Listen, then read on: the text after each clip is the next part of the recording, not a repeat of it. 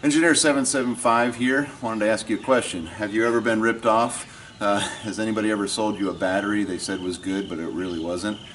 Well, I have. I've had some very large 8A, 8D batteries that folks said that they were good. They registered fine with a voltmeter, but the that didn't mean that they were good.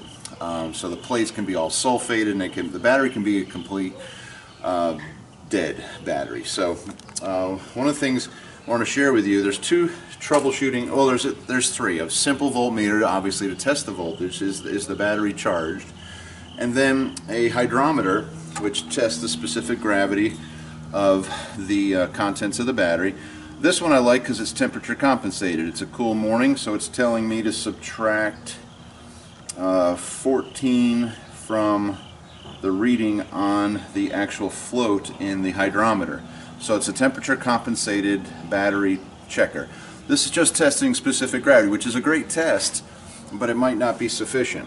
And so what you can do, and none of these are expensive, I forgot this, I'm going to put a link to this, I, I think it's $10, but you want to be able to check your lead acid batteries. But The other is doing just a basic load test. This is a standard 130 amp load tester that you push the button for 10 seconds and it will test 6 volt batteries, 12 volt batteries, and you don't test a, a, battery bank, you need to test them individually. You hook up the negative first and you hook up the positive second.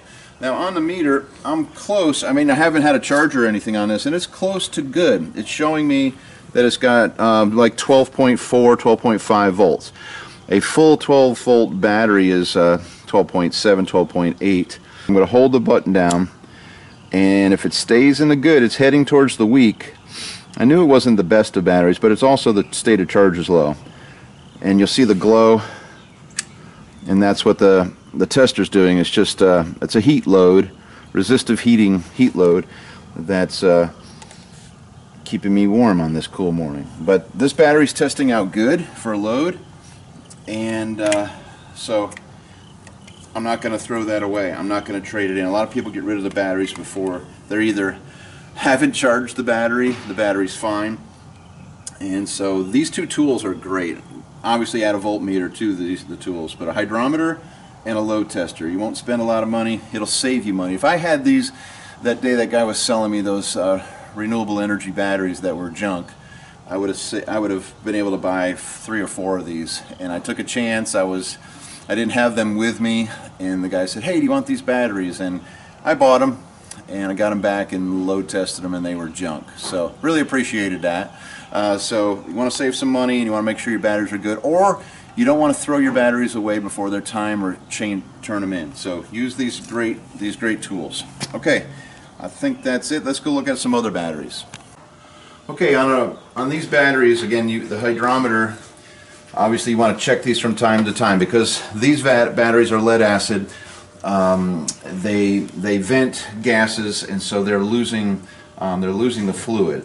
Um, so you add distilled water to them to top them off from time to time. You just got to keep an eye on them. Yes, they make automatic water. So I'm going to suck up some uh, of the battery acid and you can see by the green zone, I'm in the green zone on here. And again, if I am to, because of the temperature, it's telling me to subtract off 13 off the hydrometer. So I'm still going to be in the good zone. Okay, I'm still in the good zone on this. And so these batteries have tested out. I've tested both of them and they're very good. I just checked the cell. I don't need to add any more distilled water to them.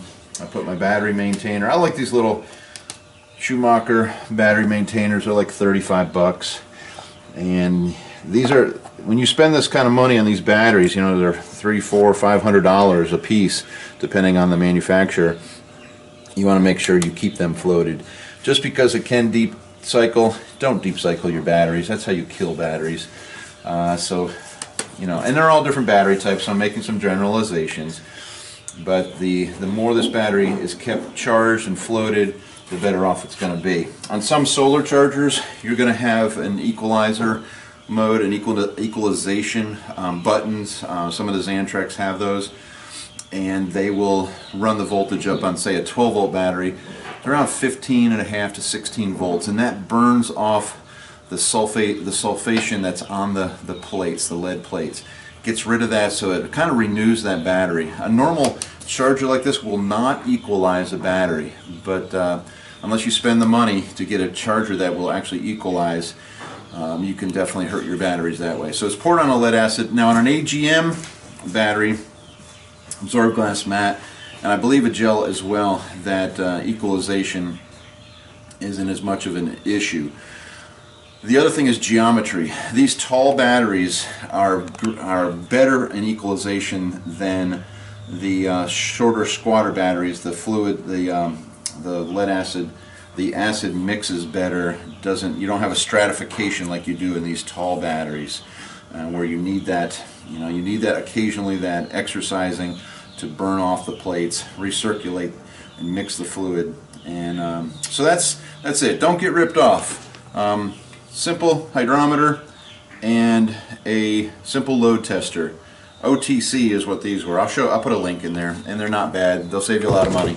Okay, I think that's enough. A uh, little bat battery tutorial for the for the day. Engineer 775 signing off.